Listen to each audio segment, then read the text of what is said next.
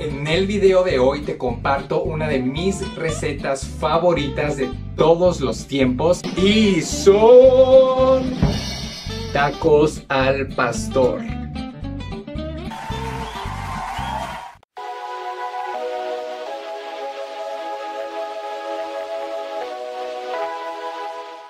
Antes de comenzar con la receta y por si no conoces este platillo, se trata de uno de los más populares de mi país y que tiene origen libanés. Y estos tacos constan de carne de res o cerdo marinada en una salsa roja de especias mexicanas, pero yo te voy a enseñar a prepararla en su versión libre de crueldad, casera y al estilo Bradbury, utilizando soya texturizada, aunque también puedes utilizar champiñones, setas o portobelo. Y a diferencia de todas las demás recetas de YouTube, esta en particular está preparada por un mexicano vegano. Lo que yo voy a utilizar como sustituto de carne son 250 gramos de bisteces de soya, pero tú puedes utilizarla en cualquier otra de sus presentaciones o el sustituto de carne de tu preferencia. Les vamos a agregar agua caliente para hidratarlos y yo le voy a poner un contrapeso para mantener la soya sumergida dentro del agua por aproximadamente 10 minutos.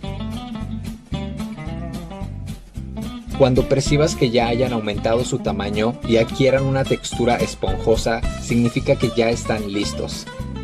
Por consiguiente vamos a drenar el agua en un colador y vamos a cortar la cocción de los bisteces mojándolos con agua fría y así evitar quemaduras. Vas a exprimir el exceso de agua con las manos para que no suelten líquido al momento de pasarlos por la sartén.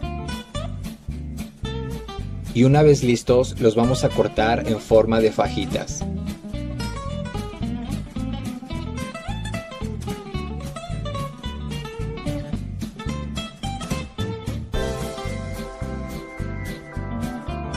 En una parrilla caliente vas a agregar un chorrito de aceite y yo lo voy a esparcir con una brocha de estas para evitar que las fajitas se peguen. Las vas a ir colocando una por una asignándoles su espacio sin empalmar ni revolver, procurando que todas toquen la superficie de la parrilla. A mí me gusta hacerles presión con una espátula para que sellen mejor y las vas a estar moviendo constantemente para asegurarte de que no se peguen. Las vas a voltear y vas a hacer el mismo procedimiento de nuevo. A mí me gusta que queden un poco quemadas, pero eso va de acuerdo a tu preferencia. Y finalmente las apartas en un recipiente. Para darle sabor a la soya, vas a realizar un marinado con los siguientes ingredientes. 2 chiles guajillo y 2 chiles anchos, sin semilla y previamente hervidos. Media barra de achiote o adobo. Media cebolla chica. 6 cucharaditas cafeteras de sal de mar o del Himalaya. 10 hojas de laurel. 4 clavos de olor. 4 pimientas negras molidas, una cucharadita de ajo en polvo, otra de comino, orégano, canela y media cucharadita de tomillo.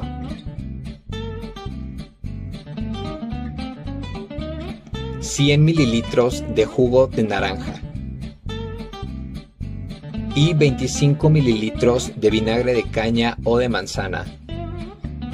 Cerramos y licuamos en el nivel más bajo. En una sartén o cazuela de estas agregas un chorrito de aceite y nuevamente lo esparces. Lo pones a fuego medio y agregas las fajitas junto con el marinado que acabamos de hacer. Untamos muy bien toda la salsa hasta que impregne en la soya y seguimos revolviendo. En este punto a mí me gusta agregarle una taza de jugo de piña o de naranja. De verdad que le da un sabor buenísimo, la soya queda muy jugosa, pero esto es opcional. Y por último, utilizaremos trozos de piña a tu gusto.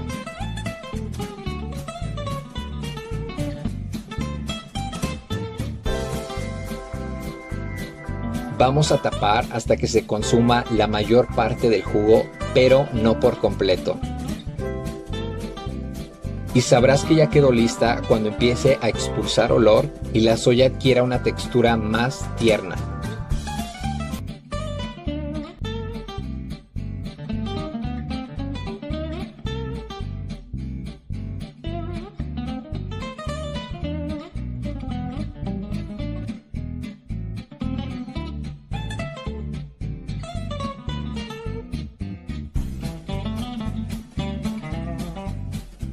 Se come con tortilla de maíz y la puedes acompañar con cilantro, cebolla, limón y salsa picante de tu preferencia.